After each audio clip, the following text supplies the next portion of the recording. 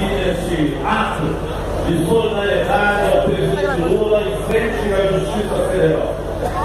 Pessoal, o Paulo a notícia aqui, eu fui lá conferir na revista Veja. Imagina, a revista Veja faz uma enquete para saber se o Lula vai ser presidente ou vai ser preso. Na Veja, o Lula ganhou de 86% a 14%. Imagina numa revista de esquerda se o Lula não vai chegar a 100% fato, fato. Isso na Veja. Mas isso mostra por que, que o Moro quer dar essa sentença de punição ao Lula. Ele quer fazer isso para inviabilizar o Lula de ser candidato a presidente da República. Nesse caso seria, Zé Cristóvão, o golpe do golpe do golpe. O primeiro golpe foi contra a democracia, tirar a Dilma. Juntou o triplex do mal. O triplex do mal, o verdadeiro triplex, é a Aécio Neves, o senador mais corrupto da história brasileira, o Eduardo Cunha, o deputado federal mais corrupto da história brasileira, e o presidente interino golpista Temer, o presidente mais corrupto da história brasileira. E foi exatamente esse triplex que deu o golpe. Depois do golpe na Dilma, querem agora tirar o Temer para colocar outro para continuar fazendo as malditas reformas contra o povo brasileiro.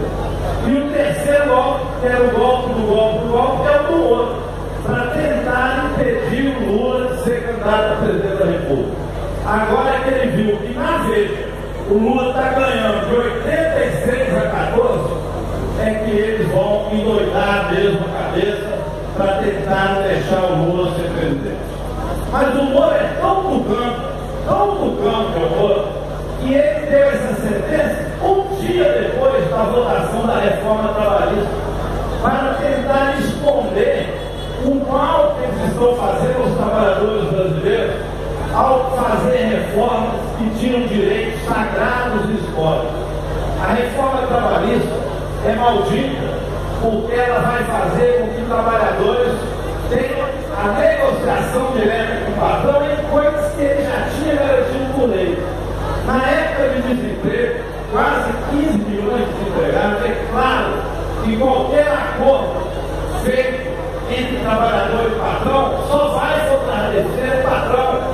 E o Moro, para esconder isso, no dia seguinte, faz essa sentença política em relação ao presidente Lula. Se o Moro quer fazer política, não é aqui na Justiça Federal que ele tem que estar. Ele tem que candidato a deputado, senador, o que ele quiser, para fazer política no parlamento. Mas não dentro do Tribunal de Justiça, não dentro da Justiça Federal. Os próprios juízes ficam constrangidos de ter um colega como o outro. Porque, afinal de contas,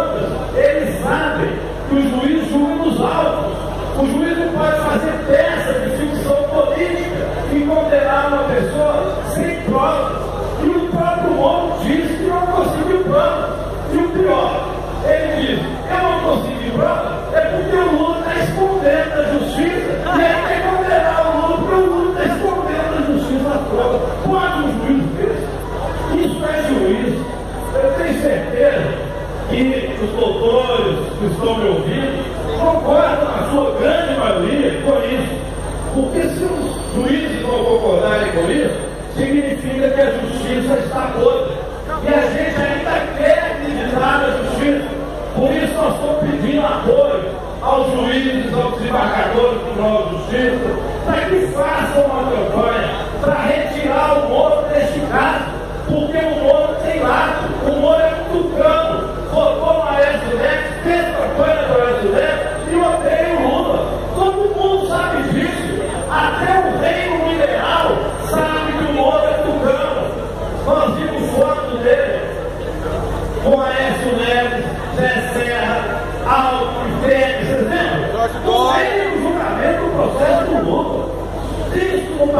sério já tinha sido retirado esse juiz neste caso do Lula.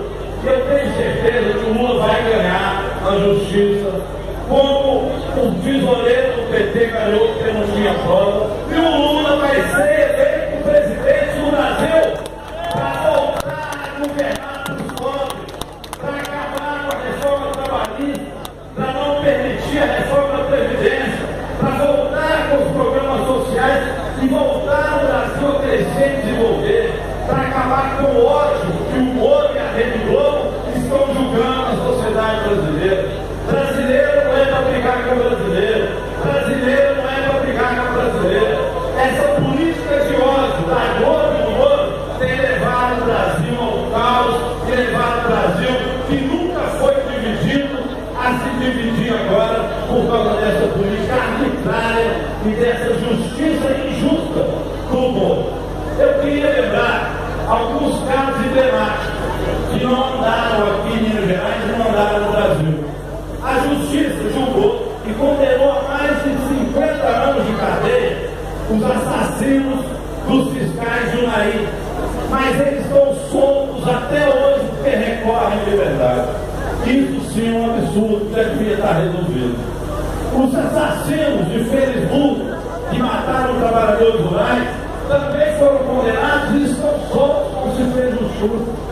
Aqui em Minas, o azereiro foi, foi julgado e condenado a mais de 20 anos de cadeia o azereiro não vai preso. Não se faz justiça no caso do mensalão do que todos conhecem.